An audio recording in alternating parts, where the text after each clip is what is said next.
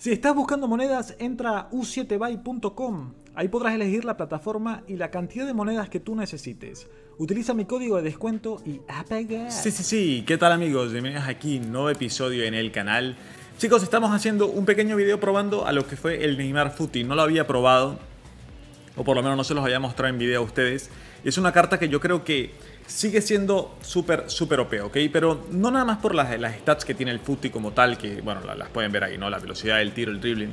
Pero es que hay unas animaciones que tiene Neymar que ya sea que si usas la carta normalita, la de oro normal, ya sea que uses un IF, ya sea que uses una carta especial, sigue siendo súper, súper chetada. Y por eso creo que también en perspectiva FIFA 23 lo va a seguir siendo. Por ejemplo, esta animación que tiene el Rainbow Flick, yo creo que es una de las animaciones que más glitchean en todo el juego.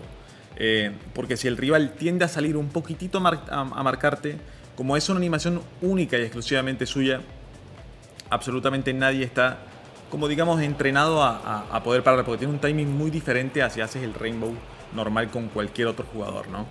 Y bueno, creo que a mí me gusta mucho abusar eh, sobre todo de esa jugada.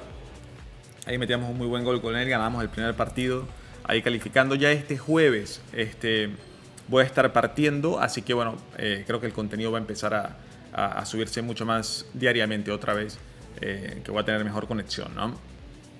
Aquí enfrentamos a otro rival, nuevamente la pasamos a Neymar, lo, tenía usando eh, por banda izquierda, y fíjense acá, ven, hacemos cancel, cancel de una cosa, cancel de otra, aquí el rival que se confundió un poquito y bueno, galazo ahí robándole el gol casi casi que al portero, seguramente quiso despejar y al final no le salió el despeje. Aquí en un tiro libre, Podía haber pegado, la verdad, quería pegar de trivela, pero dije, bueno, eh, típicamente cuando un rival no agarra un jugador y lo pone atrás de la barrera, puedes meter 100% eh, de esta jugada, ¿no? Entonces, bueno, aproveché un poco eso, ¿no? Que el rival se había quedado un poco dormido en el tiro libre.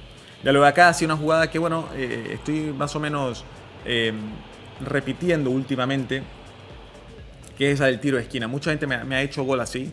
Eh, y bueno, simplemente es cuestión de sacar, correr hacia un lado y meter el, centro completamente al lado opuesto como en diagonal, ¿no? Funciona bastante bien.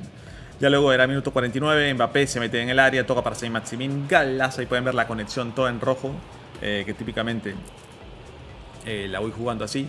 Y ya bueno, este partido se extendía muchísimo para otra cosa, ¿no? Luego, quiero hablarles un poco, y bueno, lo hablaremos en los próximos días, que salieron las medias, ¿no? Las medias de FIFA 23. Ya esas las habíamos más o menos desvelado, que se habían liqueado todo, todo lo que iba a salir y demás. Pero oficialmente eh, salieron, bueno, de hecho Neymar le bajaron bastante el ritmo y demás. Vean aquí Rainbow Flick, luego le, haces un pequeño flick también hacia la, hacia la izquierda, como para continuar la jugada, metíamos ese gol.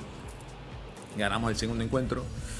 Pero bueno, esas medidas eh, creo que va a, estar, va a estar muy interesante lo que va a hacer FIFA 23. Vamos a ver al final eh, qué tanto va a cambiar el gameplay con respecto al, al beta, ¿no? Pero va a estar bastante interesante el que por lo menos reduzcan el ritmo de, juego. Eh, y eso creo que le puede dar más vida al final a la, próxima edición.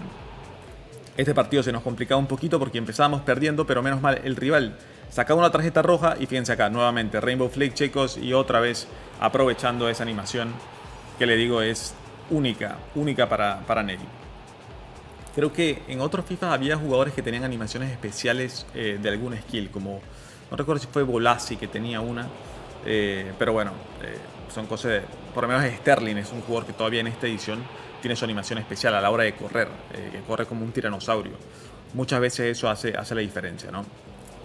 Viendo ahí con Saint metíamos ese gol y va a ser la tercera victoria. Así que chicos, dejen su like, dejen su comentario y nos vemos mañana. Fuera.